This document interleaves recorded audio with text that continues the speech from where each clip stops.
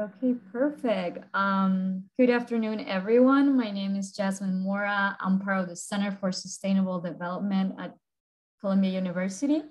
Um, I would like to welcome you all to yet another amazing session of the We Champion Series speaker.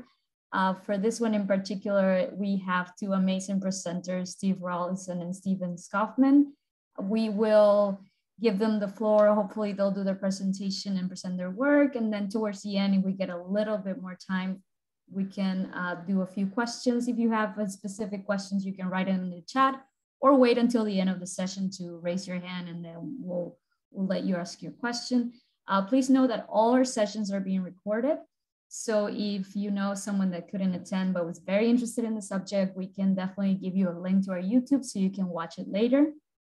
Um, these are a series of um, sessions that are organized by Mission 4.7. As you know, Mission 4.7 is a network of organizations that promote transformative education and target 4.7 more specifically.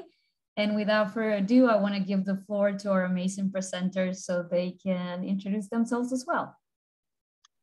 Thank you very much, Jasmine. That's very kind of you. And thank you very much for the, for the invitation. We're thrilled to be here um, and looking forward to sharing our thoughts with you, uh, the audience, and also hearing from them. That would be really good if it was a two-way process. Um, what we're going to try and do is address some of the concerns that we hear from teachers and children and all those that are involved in education about the environment crisis that's unfolding all around us um, in lots of different ways and in, in alarming consequences. What we're particularly concerned is what we can do about it, both personally and professionally. And what we can do when we live in a society and a global culture that has a range of priorities, many of which don't particularly align well with the term sustainability. So the arguments that we're going to present and the ideas that we're going to show you are drawn from this book that we have re we recently published um, and from an international readership. And in that, we focus particularly on teachers and students in training for going on to working with children aged between 3 and 14. And that age group is particularly significant because they are the people that are going to inherit the planet that we leave. So it's it was aimed deliberately at the younger age group. It also, we're also going to deal with some of the issues to do with curriculum management and organization of how you teach sustainability. And we may look at a few practical activities for classroom use. And what we're going to say draws both on educational theory and research, as well as our own and other people's personal experience over many years. So, next slide, please, if you could. So who, who are we? Well, I'm Steve Rawlinson. I've had the, the, the privilege of, of, working in every sector of education, from the little ones right through to um, what we might term the, the, the third age uh, uh um, people. I, I, have two, I've over two decades of experience as a principal lecturer in geography education at Northumbria University. I was Geographical Association president 2015 to 16. And until recently, I've been editing the journal for the Geographical Association called Primary Geography. And my colleague will introduce himself. Yeah, I'm Dr. Stephen Scoffham, uh, an educational author and uh, consultant for school atlases. Uh, I'm currently working on a new edition of a, of a atlas for primary school children, children aged eight and over. And I'm a visiting reader in sustainability and education at Canterbury Christchurch University in, in Kent in England. And like Steve, I was one time uh, president of the UK Geographical Association. We only have a one-year tenure, by the way, so uh, it, it, there's a sort of throughput. So you just get a, a, year of glory, and then you and then you sort of drop off the conveyor belt at the end. So, um, introducing ourselves a little bit further, sustainability and climate change is a daunting prospect, I think, for many teachers, largely because they lack training and guidance in a complicated area. The evidence is that many teachers, where they do teach it, are actually either following their own enthusiasms or focusing on popular topics like maybe plastic pollution or current events. And much depends on sort of an ad hoc approach.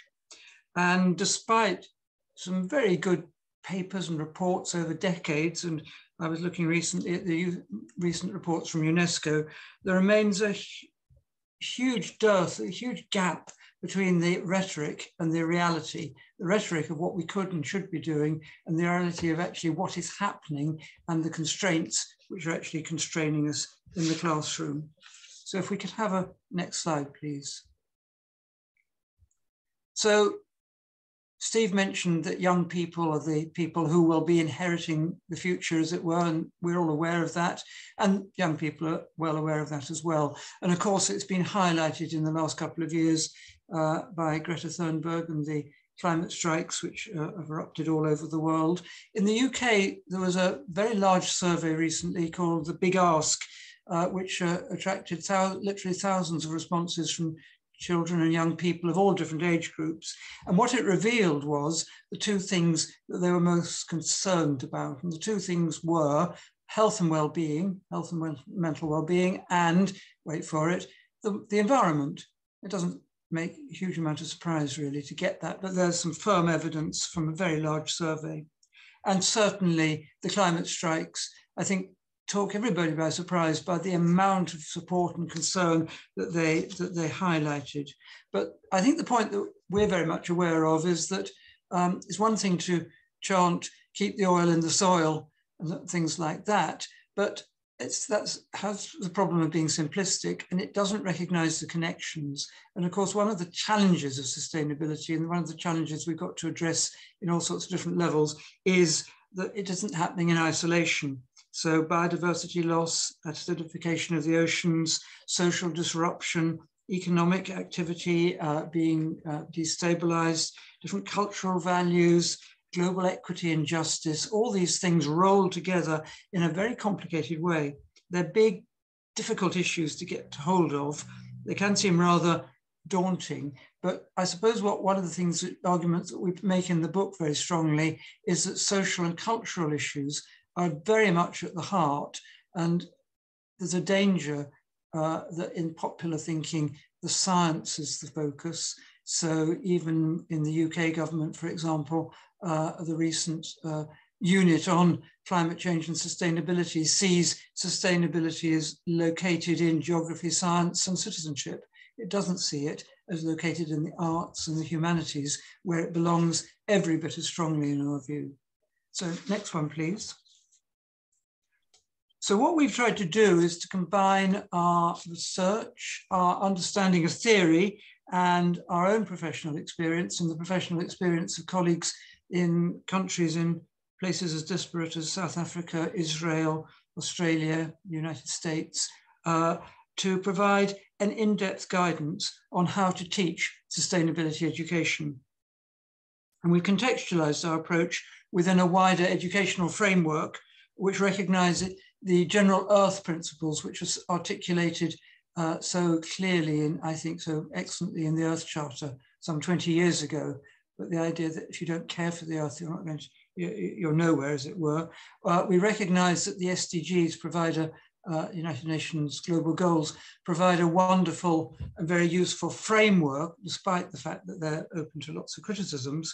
And we recognize the importance of the personal qualities and values that individuals hold and young people ascribe to. So these different two different definitions of sustainability or two ways of looking at it are represented in this slide. The mantra, as it were, of the three pillars, the environment, economy and society, which is reflected very strongly in the SDGs, has been taken us a long way, but it is uh, flawed in our view, like all approaches are going to be flawed, but uh, the big flaws there are things like the, the, there are more than three pillars. Where's power? Where's politics? Where's culture? Where's religion? Where's a whole lot of stuff in those pillars uh, which are not really properly represented? And are the pillars all equal sizes, or are some parts of the uh, uh, uh, that temple of sustainability lopsided? And uh, we all know that the economy is a hugely fat, thick pillar, and the environment, sadly, tends to be a, a crumbling and decaying one rather than the, the, strong one that it absolutely has to be. Uh, the representation of sustainability that we favour is the one on the right. Uh, and you can begin this at a number of different points. So you could look at sustainability in the center and say, well, sustainability depends on or hinges around how we connect and think about ourselves, how we think about others, and how we think about the future and our responsibilities to those who are not yet born, as well as uh, uh, uh, different peoples and different parts of the world. And it's a much more dynamic model. I could say a lot more about it, but um, I think that's probably enough for the time being. So on to the next slide. And this takes us to something else which we highlight in our book, and that is that without some kind of framework, it's difficult to see how we can really articulate what it means to be sustainability literate and what this might look like, not only in the ground, but also with children and pupils of different ages. So we've tried to draw on a wide range of literature and research to identify unifying ideas, uh, which actually unifying ideas and concepts are very much part of every discipline, but they're not yet fully developed or even uh, uh, uh I don't think the prototype is yet on the table for sustainability education. So we've put the three pillars in the middle, the economic, the social and the ecological, and you can see the difference between the concepts, development, growth and progress on the one side and habitats and interdependence and tipping points on the other. They're very different ways of thinking.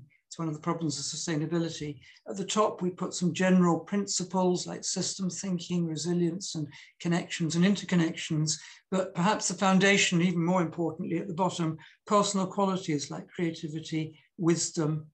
You could have humility there if you want, wonder, a whole range of uh, personal qualities uh, which uh, absolutely make sustainability education what it is. So we recognize that that whole attempt to identify the unifying principles opens up deeper questions about what education is and what it can be. And then one other thing that we wanted to highlight is turning over to the next slide, please. And I think Steve is going to highlight this for us. Yep. So what are the distinctive features about sustainability education that we have identified from those particular principles that we've just discuss with you? Well, first of all, we think it lacks an agreed knowledge or conceptual base. There are no clear boundaries and it has a huge but ill-defined knowledge base. And that can make it very difficult and daunting to teach, particularly for new teachers um, coming into the profession, knowing what it is that they're actually trying to teach. Secondly, it involves the whole person. It's a, it's a head, hands, and heart situation. It's not just about knowledge. And there's a clear need for emotional engagement. And that contradicts certainly from this country, where um, there is a great emphasis on simple, sorry, not simple, but just knowledge. Um, we believe there's a need for an emotional engagement as well. Thirdly, it's best taught through practical activity and action. Giving children a sense of ownership in the face of what appears to be overwhelming global problems is definitely the way to go. They then feel they can actually do something and it tries to mitigate the gloom and doom that unfortunately a lot of them seem to be feeling at the moment about what, what is facing the world. Fourthly, it takes an interdisciplinary perspective. Um, sustainability doesn't have to be a separate subject. Um, we need to move away from those traditional subject structures and silos, which we, we've, we've got ingrained into. Um, and that's a really, really important point, And that's something that we would want to emphasize right the way through. Fifthly, it's about developing a mindset, judgment and wisdom. It, it, it's, it's about the whole child, not just their knowledge, etc. And it demands pupils can synthesize information, that they can think critically and creatively and take appropriate action. The word appropriate is particularly appropriate there. Sixthly, it confronts uncomfortable truths about life today. Um, it pivots around social as well as scientific issues, as Stephen has, has quite rightly um, suggested earlier on. And you only have to think about how sea level rise is impacting on small island developing states to realize that. Um, if you remember the picture of the economic minister from Tuvalu giving the address at the COP26 conference from a lectern in the middle of the ocean, then that sort of that's the picture that you know you can see there.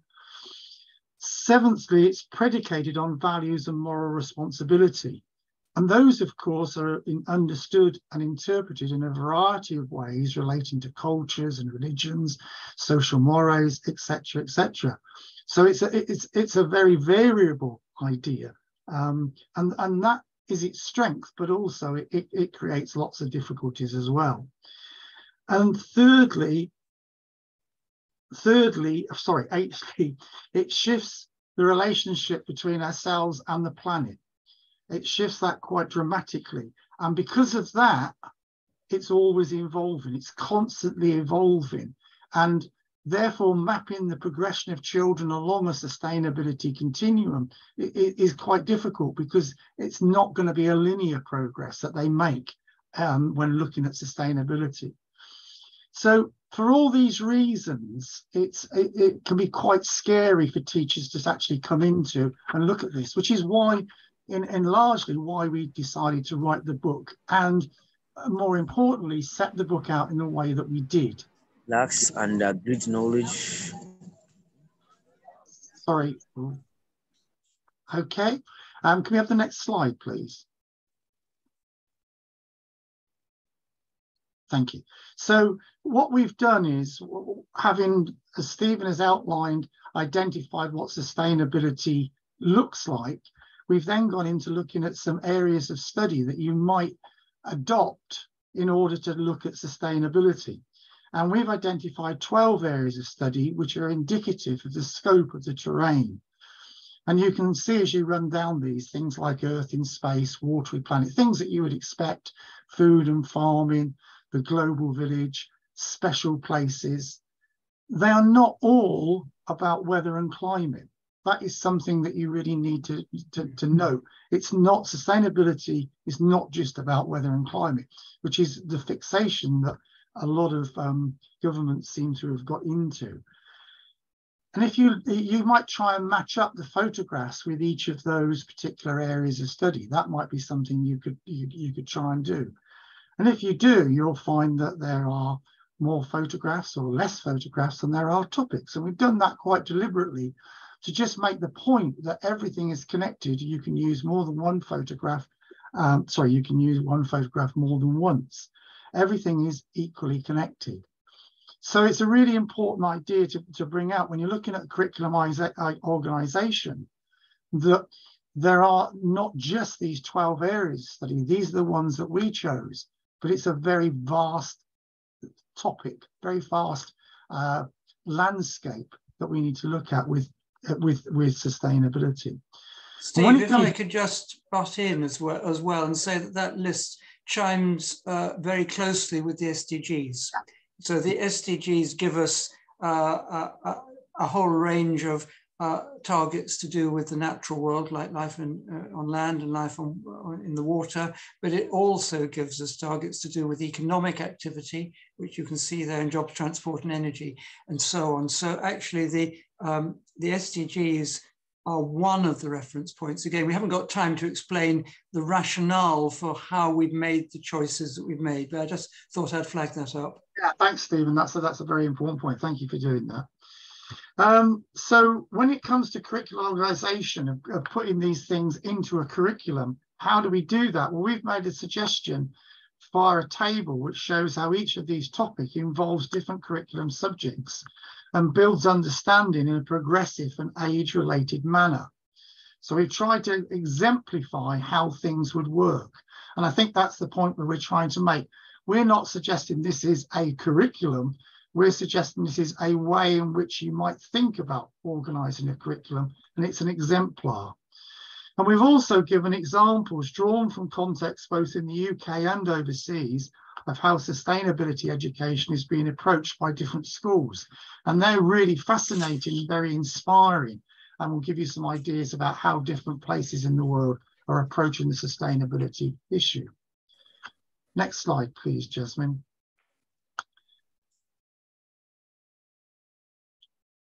So that takes us on to some challenges. So what are the challenges that we particularly want to highlight today? Well, the first one is ensuring that teachers have the knowledge and the confidence to help children understand difficult issues. The knowledge and skills and enthusiasm of the teacher are obviously fundamental. So this challenge focuses really on teacher education and in-service training. How is teacher education organised? And how is, how is the, the initial teacher education then built upon from the uh, in-service training that follows on once teachers are in service.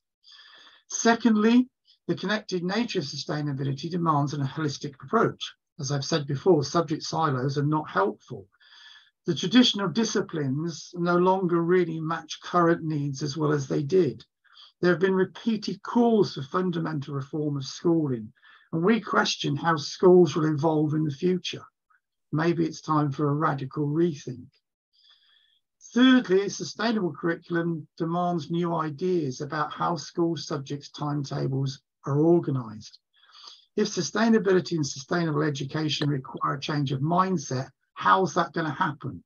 How are we going to get through uh, um, to those in power how school subjects and timetables might be organised?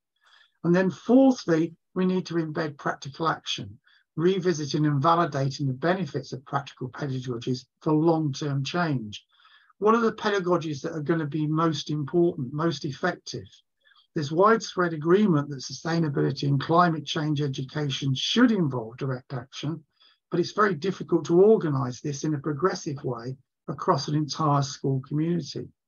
So these are some of the questions that are encapsulated in a different way in the final slide, which Stephen's going to now look at. Next slide, please, Jasmine. One of the um, things which crops up as we so often as we delve into sustainability and sustainability education literature is the call for a paradigm shift.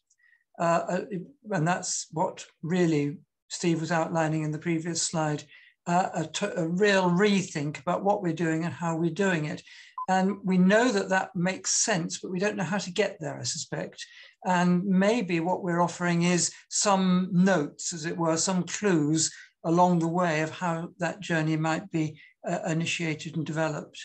But I'm very much aware, and I think we, we both are, of the huge disconnect between what is actually happening on the ground and what we need to do. And there's this reality gap and we're all busy in our own ways, uh, doing our very best to put girders and nuts and bolts and, and braces and all the other things uh, together to make the bridge uh, between one side of the chasm and the other, uh, where but the reality gap is, is huge. And uh, unfortunately, some of those girders keep, seem to keep on, as it were, to pursue the metaphor, plunging into the abyss beneath us. So uh, we continue the work in our, all of us in our different way. And I would favor multiple clumsy solutions to uh, to, to, use a phrase from Mike Hulme, uh, the idea that little clumsy solutions build up over time rather than mega solutions, which are so difficult to initiate, so difficult to form, and so difficult to uh, uh agree upon. But the question is, do we have the time, the resilience, and the power and one for within our own spheres of life to make the changes that are needed. And I'm reminded uh, by, of Alvin Toffler, who many, many years ago wrote a book called Future Shock, in which he flagged up the way in which uh, human beings uh, could only cope with so much change. And he talked about exceeding uh, their adaptive range. And I do wonder, in, in a political sense and indeed in educational sense as well, as to whether uh, the limits of that adaptive range are one of the reasons why some of these girders, which we're trying to put across the abyss, are, are not uh, so firmly planted as they should be. So I hope that's a sort of given some sort of uh, a clue as to where we're coming from, what we've been thinking about for not only the two or three years when we've been writing the book, but the 40 odd years, frightening to do the arithmetic, uh, of our careers when we've been delving into sustainability and sustainable education in different ways. But um, we're very much looking forward to questions and discuss further discussion. That, that was amazing. That was amazing. Uh, thank you both so much. I know it's so little time to explain so many things and you're thinking behind things. So I really appreciate that you were able to like synthesize as much as you were. Um, like Stephen said, we will now take questions either from the audience, and if not, I have a couple of questions as well. So you can write them on the chat or you can raise your hand. Either way is fine. Um, in the meantime, I was wondering, what are some of the expectations you have about this guide that you have created? Steve, do you want to pick that up? Um, basically the, the, most important one that I think the expectation we, we feel we'd like most of all is the one that we sort of started with, which we're very conscious that teachers often haven't got the confidence to tackle sustainability from an informed perspective. And so we set out writing the book to try and address that particular uh, issue. Um, and we, would hope that by reading the book and, and using it in a practical sense, that confidence would grow. Um, that's one of the things we, we really would, would like to see. Um, and it, it's complex, isn't it? You know, we, would hope that um, by looking at what we've tried to set out, they would begin to realize that sustainability is not just about knowledge, it is about that emotional engagement. And uh, there's more to sustainability than just the pure knowledge about weather and climate, etc. So that's one expectation. Yeah, and how do you set about it uh, in a you know on a whole school level? Uh, uh, how do you where are you going to begin? How do you break into this very difficult thing called sustainability? Don't want to over egg the difficulty of it, but I do want to stress that it requires uh, a degree of expertise which uh, takes time to develop and which uh, many practitioners lack, simply not because they're inadequate, but because uh, that wasn't on their agenda and hasn't been on their agenda. And threading your way through uh, uh a whole subject, which itself is an area of learning which is evolving and constantly changing, is, is, is a challenge. It's bound to be a challenge. But uh, hopefully, we've hoped to move the debate forward significantly We'd like to think that it is a significant publication which sets out some you un, thinking which hasn't been articulated in that way previously. Yes, completely. Um, we have a question in the chat. It says, give me one second. It would be great to have sustainability curriculum. What is a good tip or trick to involve sustainability, sustainability in everyday academics?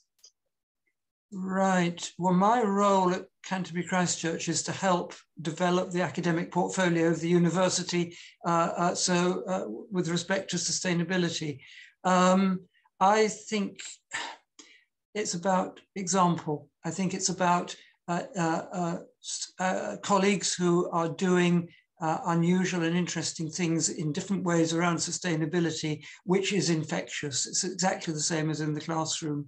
And uh, that rubs off within the uh, uh, various forums in which colleagues meet. It rubs off in the feedback from st students. Uh, it comes uh, in all sorts of different ways. And I would go for the sort of soft targets and, and, and, and bolstering and building the capability of capacity of, of, of, of the institution through getting a critical mass of colleagues on board uh, because it can't be one person thin. It's got to be something that spreads across the board. So I don't know if, if, it is a, if it's a trick, but the approach, uh, which is uh, to you know, find ways in which you can have those conversations, those exchanges of ideas in which you, you, you, you which are buzzy, which uh, generate uh, new thinking about how to go about introducing. Sustainability doesn't have to be a, a new subject on the curriculum. And then if you do that you put a box around it. Uh, yeah. and we're, we're we're aware of that danger Uh, we've talked about all sorts of things uh, about having introductory weeks and so on, where all students take part in uh, sustainability awareness raising, and that's a good idea, but it's difficult to staff. And again, if you haven't got the colleagues who are competent and not competent, who haven't got the uh, uh, background to do it, uh, then it's not going to work very well. So um, I hope that sort of begins to open up that way of thinking. Yeah, no, I completely agree that um, tap in not only on the resources that you have available, but also the people around you and using those networks to trying to like get yourself into into these subjects and trying to figure out how to include it in in everyday learning, which is like you said, a challenge on itself because there's so much um, expected from educators that um, yeah. having to add extra things and having to figure out how to frame things differently can be quite challenging when they're already planning their their sessions and they're already doing so much. And I'd, I'd, just like to add that you know sort of we do find that one of the dangers is that you if you raise uh, global awareness uh, and sustainability awareness in a way that uh, we think is absolutely essential students then come back and say well, what can i do? What is it that i can do which is practical? You know how can i how how can i uh, cope with knowing that things are so badly wrong as we uh, uh, uh as you've been telling us uh, and you know finding ways of channeling and holding that anxiety is uh, again another aspect of what this is all about and it's just part of the terrain mm. Exactly. It can be extremely overwhelming to learn about how everything mm. is just on a global scale. It's kind of like going downhill and it's very overwhelming for students and trying to figure out how they fit in the world and how they can actually make a difference that within their own communities. So having that view of these are all the problems on the bigger scale, but here are the things that we can do to change those things on our scale. It's probably a very important conversation to have to, like you said, to reduce anxiety from students and educators as well. Mm-hmm.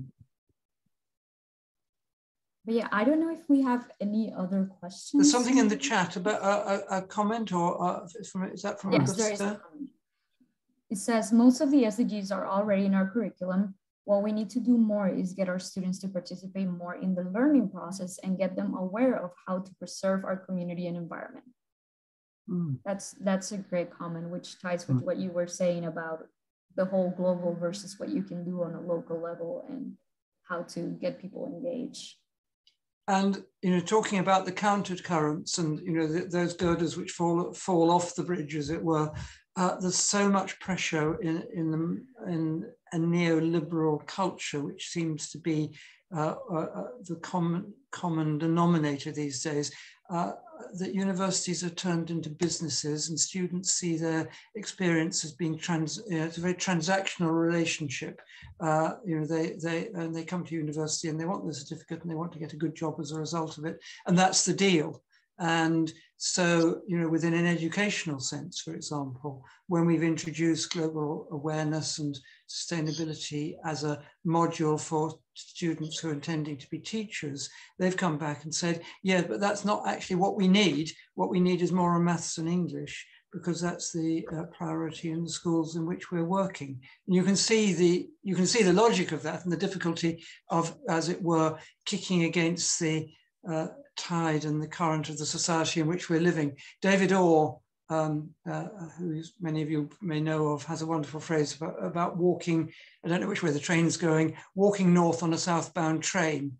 And uh, sometimes I feel that what, that's what we're doing. I think it's the right thing to be doing, even if the train is going in the wrong direction. We need to walk down the corridor in the opposite direction because uh, that's the right thing to be doing yeah, that that sort of mirrors my thought that it's a case of being brave.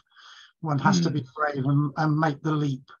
Um, and I, am reminded of a, a, a, teacher in a local school some 20 years ago who very bravely just decided that Fridays would be um, a day when all the children in, in the whole school would work outside on their in their grounds, building a community forest or community garden, community a whole community um, outdoor environment. And it was an amazing achievement. They achieved so much in about three years with this particular project. Um, what was fascinating was that he had the best science and maths results of the entire county, having lost a whole day of normal subjects. And I thought, I think that says quite a lot, really. But he was brave, you know, he, he, he took that idea.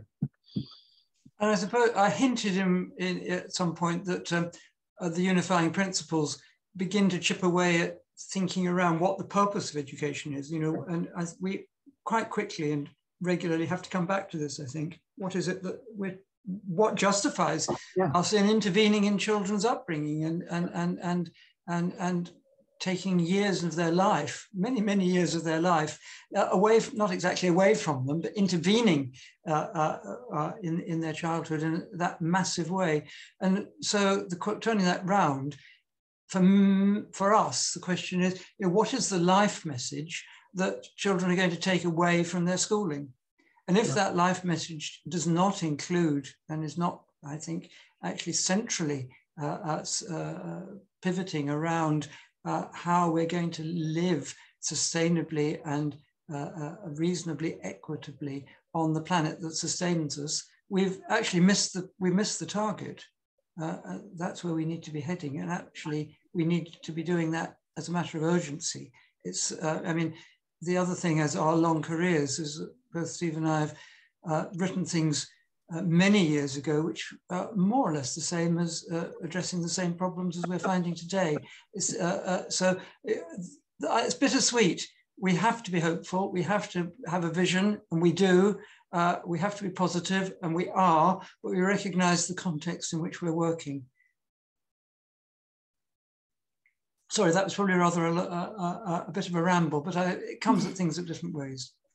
No, that was perfect. That was a perfect um, summary and closing remark. I would say if I, I don't think there are any other comments in the chat. I think that was the last one. Um, if you want to maybe have some little time for some more closing remarks, please go ahead. Um, we're so thankful for you to take the time to present your work to us and just give us even more tips on how to include sustainability in everyday learning, which I know that a lot of educators and students are struggling with. If this isn't inappropriate or a bit cheeky, the Bloomsbury uh, academic website has a companion website for the book, and I want to mention it simply because uh, even if you don't want the book, have a look at the website because it's got lots of free resources on it, a huge number. There are 34 sections to it and oh, a whole wow. range of prepared uh, uh, PowerPoint presentations. So if you want a ready-made PowerPoint presentation on what sustainability might mean, for example, or a ready-made PowerPoint uh, presentation on the SDGs, there is something there on that website. Thank you so much for the tip. And Stephen and Steve, thank you so much for taking the time again. It was a pleasure and an honor to have you. Um, and thank hopefully you. will join us in the future for more sessions hmm. of the yes, please. Champion yes. series. Yeah, we'd love to. We'd love to. Um, well, I think that I can let everyone go now. Thank you so much for joining us. And remember that this recording is going to be available on our YouTube channel that um, my colleague Hayne posted on the on the chat. So you can revisit it and watch it again if you want to. And send it to the people that maybe weren't able to make it. Thank you so much, everyone. Have a great day. Thank you very much. Thank Thanks. You. All the best. Bye. Bye. Bye.